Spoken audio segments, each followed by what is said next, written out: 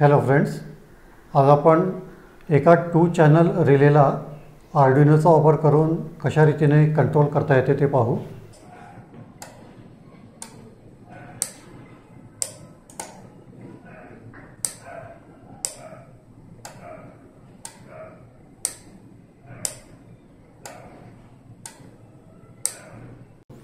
यासाठी आपण हे साहित्य वापरणार आहोत.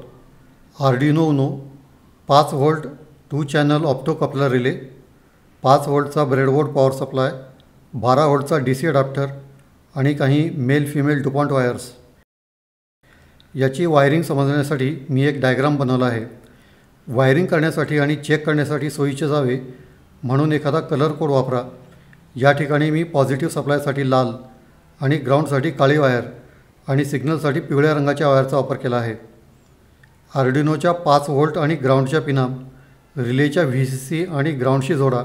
आर्डिनोच्या पिन क्रमांक सेवन आणि एटला रिलेच्या आय एन वन आणि आय एन टूशी जोडा. ब्रेडबोर्ड पॉवर सप्लायला रिलेच्या जे डी व्ही सी सी आणि ग्राउंडशी जोडा.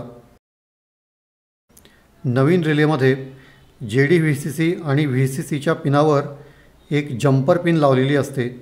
ती तुम्हाला काढून टाकावी लागेल. पण येथे एका गोष्टीची काळजी घेतली पाहिजे. जम्पर पिन परत बसवताना त्याला चुकून व्ही सी सी आणि ग्राउंडच्या दोन पिनांना जोडू नका.